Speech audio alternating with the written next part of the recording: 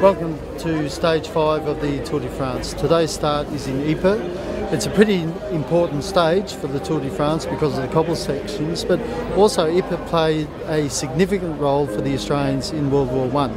And last night we were fortunate enough to be entertained by the Australian ambassador to Belgium and attend the ceremony at the Menin Gates and Jerry can tell you a little bit about the ceremony. Yes, it was a great honour for Shane Nye uh, to see each night, uh, which has been going on since uh, 1928, apart from World War II, that they uh, have the reef laying ceremony. And uh, I had the honour last night to, uh, with the ambassador, to lay one on behalf of the Australian Government. Uh, not only uh, it was special, we had a school uh, choir from Adelaide that uh, played the national anthem and also Waltzing Matilda. It was very special, wasn't it, Shane? It was very special, Jerry, and there were 66,000 lives lost from the British Empire, 13,000 Australians. So, you know, it was quite emotional to be standing there. And we also had some Australians there that had relatives as well who died in that. But it, it's great, it's fantastic that uh, Belgium still recognises the war efforts of the Australians. And uh, as I said, it was a very touching moment last night.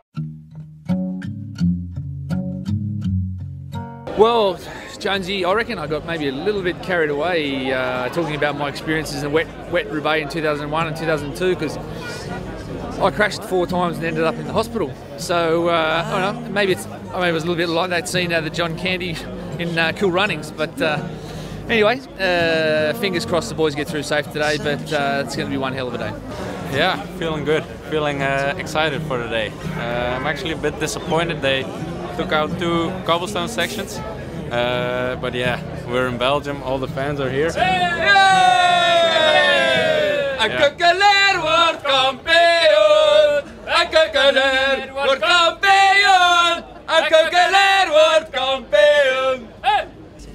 Three guys, there's three very protected riders today. Obviously, Jens and Matty, classic specialist, and they're, they're really keen, they're really motivated to have a big ride today. These guys have been working their ass off for you guys this week and will continue to after tomorrow.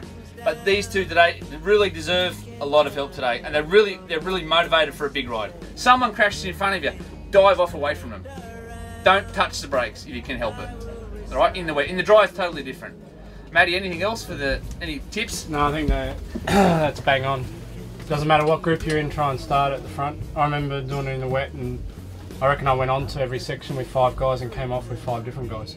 Yeah. So you just there's guys, people going everywhere. Just yeah, look after yourselves. A group of guys here going for the win, and a group of guys here to get through just survival. That's the win. That a bloody oath's win. If we, if we haven't got to pick anyone up at any hospital today, we've had a bloody winner.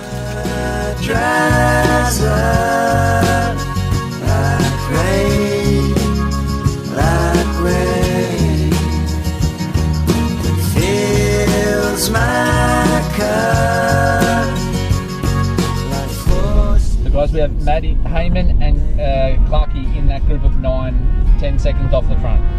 Perfect scenario, boys. Very good job. Very good job. So we're here at the end of uh, Sector 6. Uh, bit of a rush to get here, but we uh, made it through all the small roads of uh, northern France here. Uh, got Hayman and Clarkey in the break. Uh, Froome's just pulled out after uh, two crashes today at least, I think. Not something we probably wanted to hear, but uh, them's the breaks and our idea now, as soon as the breaks pass, we'll be out of here off to the second to last sector uh, with more wheels and more bottles. On your mate. You missed it, don't you? No. Four seasons in one day.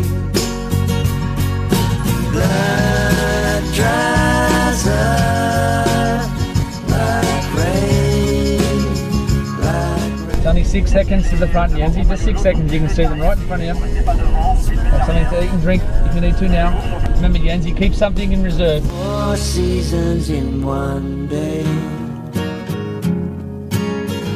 Thought the crosswinds all day and the tailwind all day wasn't a very long stage, so I took a bit of a gamble.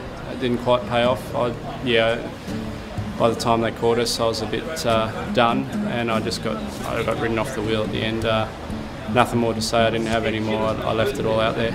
I think at the end, the riders that were in the front were just the riders that didn't crash or didn't puncture or something. Every cobblestone section we went on, you saw guys flying to the left and to the right. And it just uh, was just important to stay on the bike. And then after a couple of cobblestone sections, you were in the front anyway. Uh, but yeah, it was a really special day today. Yeah, I reckon we had a fantastic day today. I certainly had a fantastic day. As a bike ride, I never rode uh, Parry Bay. As a director, I've never been in Parry Bay.